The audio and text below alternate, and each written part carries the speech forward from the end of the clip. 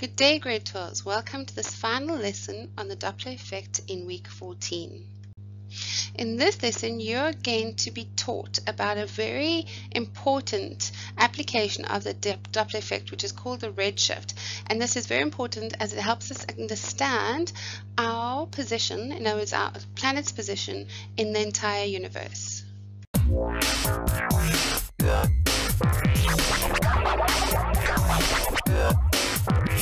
Hello. Today's lesson on the Doppler effect will look at the Doppler effect in relation to light and how this shows us that the universe is expanding. In terms of sound, the Doppler effect is the apparent change in frequency of sound due to the relative motion between the listener and the source of the sound waves.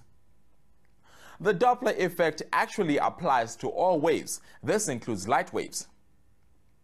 In respect to light, the Doppler effect is defined as an apparent change in the frequencies of light waves, which leads to a change in color as a result of relative motion between light source and observer.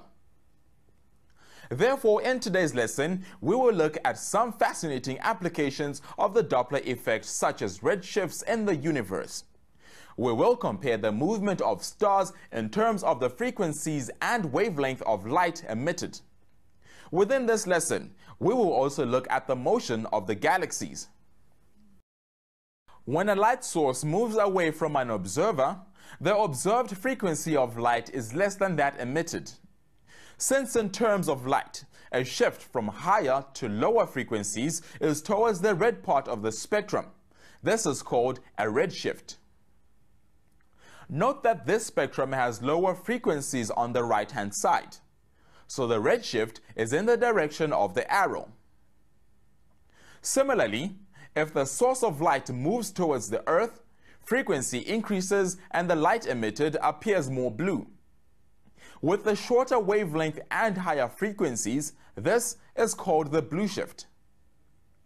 Let's listen to an interview with Marion West, an astronomer, as she explains how we know that the universe is expanding and how the redshift and blue shift phenomena occur. Hi, Marion. Thank you so much for meeting with us. Um, could you tell us more about how the Doppler effect is used in the field of astronomy? Yes, we actually, you can split light into the different colors of the rainbow. It's called a spectrum. And then for the different kinds of molecules, in a star like the Sun, you've got molecules like hydrogen and helium, which are the most common elements in the universe.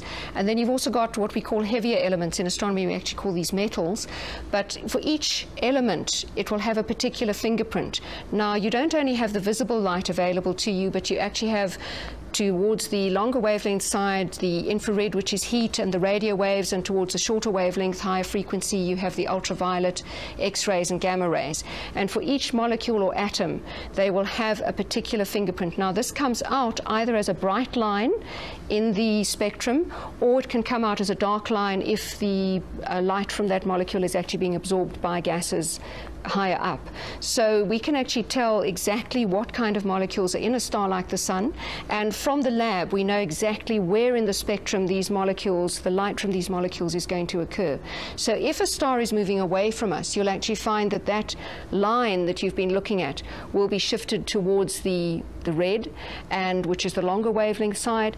If the star is moving towards us, it'll be shifted towards the blue. So it is a, a Doppler effect like you've been talking about in your program, but actually in the light region of the spectrum.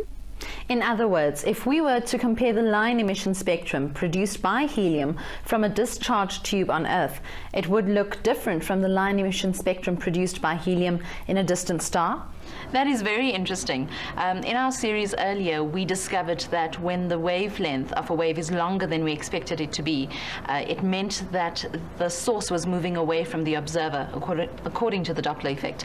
Um, does this red shift mean that the stars are moving away from us?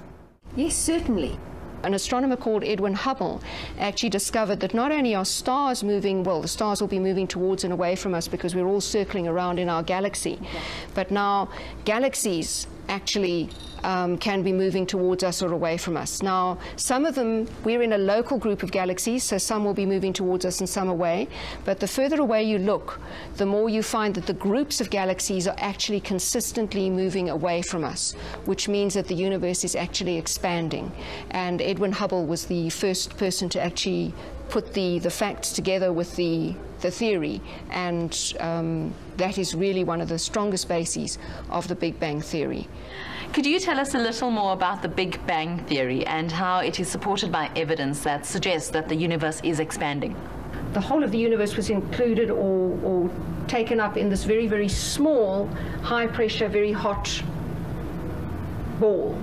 Um, now, often people think of, well, this ball then expanded into space, but in fact, this ball was space and time and everything that is. So this then expanded. It expanded very, very quickly initially. It, we needed to have expanded very quickly because everything, as far out as you look, things are what we call homogeneous and isotropic. That means that in, in every direction that you look, everything is much the same. You do get clusters of galaxies, but on the larger scale, everything is actually pretty much even. So the universe expanded very, very quickly, and then it actually, obviously, as it expanded, it cooled.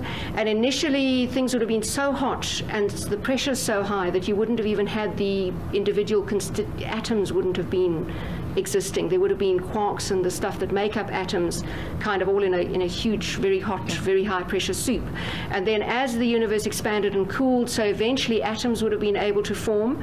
But at that stage, things would have still been hot enough that matter would have been turning into radiation and radiation into matter.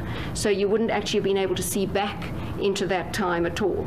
Eventually, I think after about a billion years, then your atoms and your matter and your radiation would have separated, and at that stage, we could perhaps see back to when the first stars started to form and that sort of thing. We can actually, with our current telescopes, see back to when the first galaxies formed, some of the very early galaxies, but we still don't have answers to the questions like um, when did the did stars form first or did galaxies form first? So the square kilometer array, which they're going to build, is going to try and look back to the very, very early time just after the Big Bang and try and answer those questions. But one of the supporting evidence um, pieces that you are, looking for is that wherever we point a radio telescope in the sky, you get a uniform radiation. It's a very cold radiation. Um, if you think about our zero temperature being cold, this is now minus 270 degrees, this radiation. So, but it is exactly what theory predicts would be there as the cool down radiation after the Big Bang because the universe has been around. Initially, when Hubble did his calculations, the universe came out to be about 2 billion years old. And that was a problem because we knew that the, some of the rocks on the Earth were about 4.5 billion years old. So the Earth was older than the universe, which didn't make any sense. But as we've gone on and refined and refined the measurements, we've actually um, now got a value for the age of the universe of 13.6 billion years. So obviously the solar system at 4.5 fits in very well with that. So with all the supporting evidence, we can conclude quite um, clearly that the universe is about 13.6 billion years old and um, that the Big Bang Theory is the best theory that we have of the universe at this point in time. From what our astronomers said, a redshift means that stars in our galaxy are moving away from Earth, and blue shift means that the stars are moving towards Earth. Note also that if frequency of light increases, the wavelength decreases, so we could also explain the shift in terms of the wavelength of light.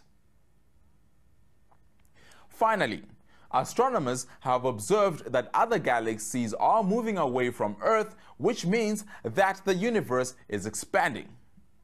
Well, we hope you enjoyed this lesson. Now it is time for you to do the task found on www.mindset.co.za forward slash learn.